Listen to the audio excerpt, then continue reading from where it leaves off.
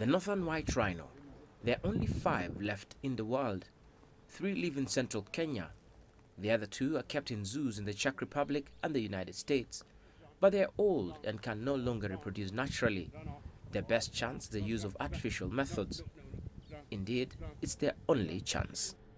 The chances of our getting a northern white calf on the ground before they die is, to be honest, pretty remote.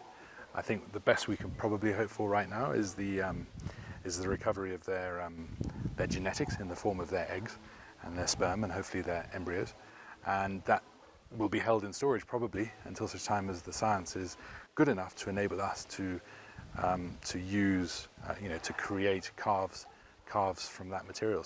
Essentially, we're looking at semen from the male, oocytes or eggs from the female, and, uh, and then probably fertilizing them outside the animal and probably implanting them, the embryo, into a southern white rhino.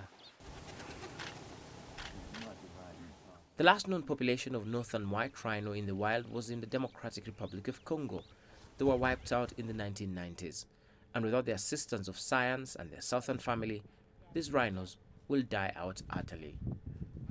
Robert Soy, CCTV.